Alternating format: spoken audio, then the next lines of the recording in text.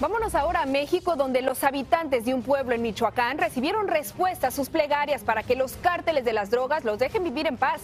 Un representante del mismísimo Vaticano los visitó en medio de esta guerra de los grupos criminales. Agustino Lais, cuéntanos. Jesse, el representante papal llegó sin escoltas en medio de un discreto operativo de la policía local, a pesar de la posible presencia de integrantes del cártel. La esperanza llegó por tierra y la fe podría ser la última oportunidad para los habitantes de Aguililla, Michoacán, un pueblo asediado por la violencia. Es la tierra de Nemesio Ceguera Cervantes el Mencho, donde el cártel Jalisco pelea a sangre y fuego contra sus enemigos. Por eso los pobladores rezan y tratan de encontrar en Dios un poco de alivio.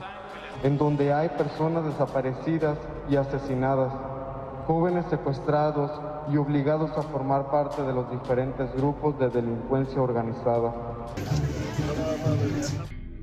Desde ayer el representante del Papa en México los acompaña. Llegó a Patzingán y hoy visita Aguililla para bendecirlos. Toca el corazón de quienes olvidan que somos hermanos y provocan sufrimiento y muerte. ¡Ocho, ocho! ¡En Aguililla! En octubre de 2019 se registró uno de los primeros ataques a las fuerzas del orden en ese municipio. ¡Ocho heridos! ¡X13, Cocho! 14 policías fueron emboscados y asesinados. Desde entonces los ataques y los bloqueos carreteros han ido en ascenso. Los últimos esfuerzos del gobierno para frenarlos, que hace unos días desplazó a cientos de elementos, han sido inútiles. El cártel los atacó con explosivos arrojados desde drones y volvió a trozar carreteras. Su mensaje fue claro, nadie entra o sale de Aguililla. Entraron balas por, por, las, por la casa, por las ventanas. Con el tiempo algunos lograron escapar, tienen tanto miedo que solo hablan en anónimo. No se puede vivir en paz.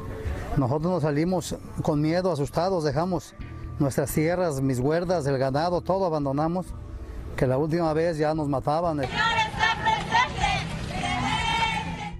Por eso la presencia del nuncio apostólico es como un pequeño rayo de luz en medio de la tormenta.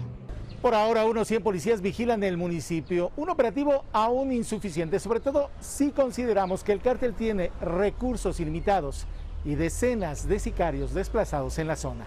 Jesse, mi reporte. Gracias, Agustín. Y el cártel Jalisco Nueva Generación es uno de los cinco grupos delictivos más peligrosos del mundo, tanto que la DEA considera a su líder, el Mencho, como el nuevo Chapo Guzmán.